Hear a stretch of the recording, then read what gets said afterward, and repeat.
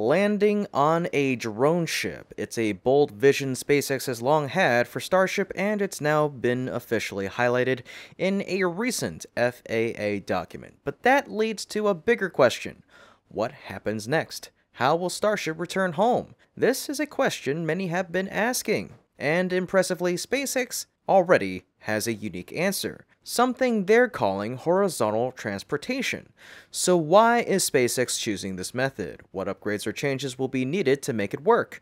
Let's explore the answers in today's episode of Great SpaceX. It's been two years since Starship's very first integrated test flight, and now we're on the brink of Flight 9. After countless upgrades and iterations, SpaceX has just taken another major step forward. The FAA has officially approved the Starship launch proposal at Starbase. This approval marks a critical milestone. It allows SpaceX to conduct up to 25 Starship launches per year from the site without mandatory delays for mishap investigations after every anomaly. That flexibility could drastically accelerate Starship's development and testing timeline. And with the upgraded launch pad and improved vehicles ready for action, a new era for Starship may be just around the corner. Equally important, the FAA document also outlines several designated landing zones for Starship operations strategically placed across the globe. These include offshore regions near Texas in the Gulf of Mexico, locations in the Indian Ocean, and two areas in the eastern Pacific Ocean. Notably, many of these zones are located over open water, and that reveals SpaceX's preferred landing method going forward, ocean recovery using a drone ship. This approach is explicitly detailed in the FAA's final tiered environmental assessment, confirming that SpaceX intends to apply the same successful recovery strategy it developed for Falcon 9. As many are already familiar, Falcon boosters land vertically on drone ships positioned offshore and are then transported back to the mainland for inspection, refurbishment, and eventual reuse. It's a system that has enabled dozens of reflights and dramatically lowered launch costs. But Starship, of course, introduces a whole new scale of complexity. Both Starship's upper stage and the massive Super Heavy booster are significantly taller and heavier than Falcon 9, while Falcon boosters are around 47 meters tall and weigh approximately 25.6 tons dry, Starship and Super Heavy stand at about 50 and 71 meters tall, respectively, and those figures may increase to 70 and 80 meters with future upgrades, as referenced in the FAA documentation. This scale creates a key logistical challenge. How do you safely transport such enormous vehicles once they've landed on a drone ship? At first, many assumed SpaceX would follow the same vertical recovery method used with Falcon, but that has now been officially ruled out. Instead, SpaceX will employ a safer, more stable solution horizontal transportation.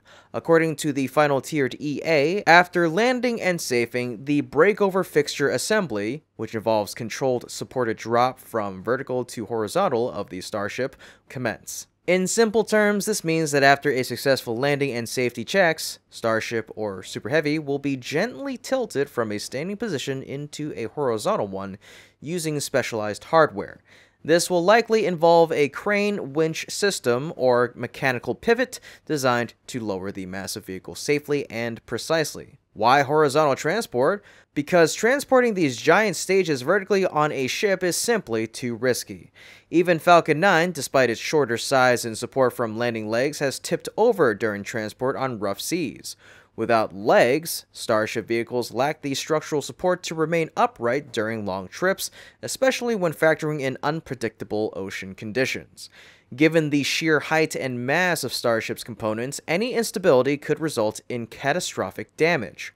Horizontal transport significantly reduces that risk. By securing the vehicle along its length, SpaceX can better stabilize it against swaying, rolling, or unexpected movements caused by waves or wind. Though this method may reduce how many vehicles can be transported at once, safety and reliability clearly take priority at this stage of development.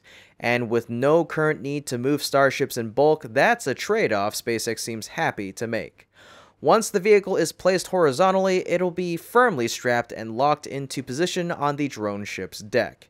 Every step will be monitored and precisely executed to ensure there's no unnecessary stress on the structure during the process.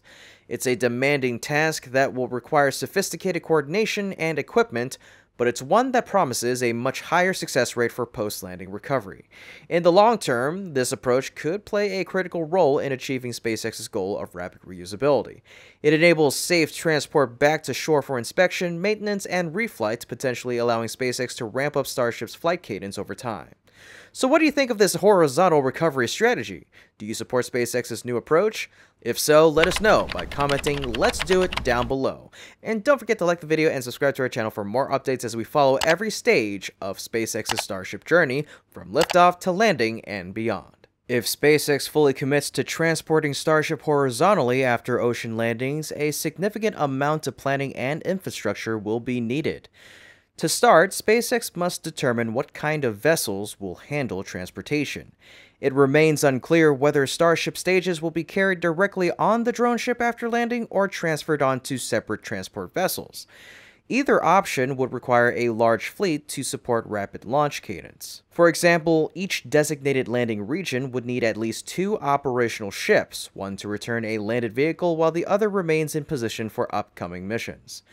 This redundancy will be vital, especially with the FAA now authorizing up to 25 Starship flights per year, translating to roughly two or more launches each month. And as Starship scales up, that number will only grow. One concept that SpaceX could explore is a supersized transport vessel similar in size to an aircraft carrier. This idea was recently hinted at by Jon Edwards, SpaceX VP, in reference to handling Falcon Heavy boosters. A massive ship capable of holding multiple Super Heavy boosters or starships could streamline recovery and reduce turnaround time between missions. Each drone ship or transport vessel will also need a specialized system to shift the landed vehicle from a vertical to a horizontal position. These mechanisms must be both compact and robust, capable of safely handling vehicles that weigh hundreds of tons while maintaining stability in ocean conditions. Additionally, SpaceX might integrate a deluge system similar to those used on launch pads to reduce heat and pressure effects during and after landing. The biggest challenge, however, lies in the structural demands. Starship and Super Heavy produce extreme thrust and carry enormous weight, especially during landing.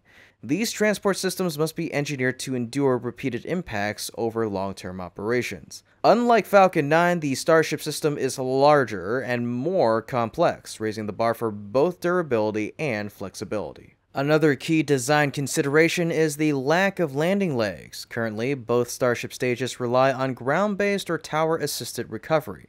If they are to land on a drone ship and transition horizontally, there must be a support system in place. Adding permanent legs could interfere with horizontal transport. One possible solution is a foldable landing leg system, legs that deploy for landing and retract or fold away before the vehicle is laid down for transport. This kind of system could also benefit future Moon or Mars landings, where soft surface touchdowns will be required. That said, implementing foldable legs is no small task. It would require major redesigns of the aft section, including structural reinforcements, hydraulics, and possibly rearranged plumbing or engine configurations. Finally, SpaceX will need international cooperation. While U.S. coastal regions like the Gulf of Mexico or the Pacific are within U.S. jurisdiction, other planned recovery zones, such as the Indian Ocean and regions off South Africa, will require diplomatic agreements and support from nearby countries. Australia may be a willing partner, but coordination with South American nations remains uncertain and could pose logistical or regulatory hurdles. If these challenges are successfully addressed, SpaceX could significantly enhance the potential for Starship landings on drone ships. First and foremost, landing at sea greatly increases operational safety. The ocean provides a natural buffer zone, reducing the risk to people, infrastructure, and surrounding environments in the event of a landing failure. If a problem arises during descent, the rocket can be diverted into the sea, minimizing potential damage and avoiding hazards on land. Secondly, drone ship landings allow SpaceX to optimize flight performance. By eliminating the need for a fuel-consuming return to a land-based site, more propellant can be allocated toward carrying heavier payloads or achieving higher orbits.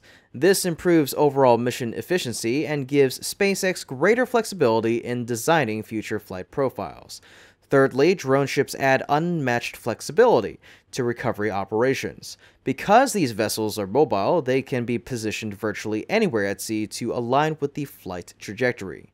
This dynamic placement makes recovery easier and more precise, particularly when launching to high energy or polar orbits. It's a distinct advantage that static land based landing zones simply cannot offer. SpaceX has already demonstrated the global potential of this approach by partnering with countries like the Bahamas to expand recovery capabilities. With Starship, the company is aiming even higher. As outlined in the FAA's final tiered environmental assessment, SpaceX has identified multiple offshore landing zones around the world, confirming its intention to scale the strategy for larger vehicles. Previously, the main obstacle to drone ship landings was post-landing transport, especially for massive stages like Super Heavy and Starship. However, with the adoption of horizontal transportation, SpaceX now has a safer and more feasible way to return these vehicles to shore for refurbishment and reuse. Looking ahead, this strategy could easily extend to SpaceX's operations in Florida. In fact, the FAA's environmental impact statement for Starship at Kennedy Space Center includes drone ship recovery as an approved landing method. This means SpaceX may soon implement a dedicated infrastructure for horizontally transporting recovered stages from sea to its Florida facilities.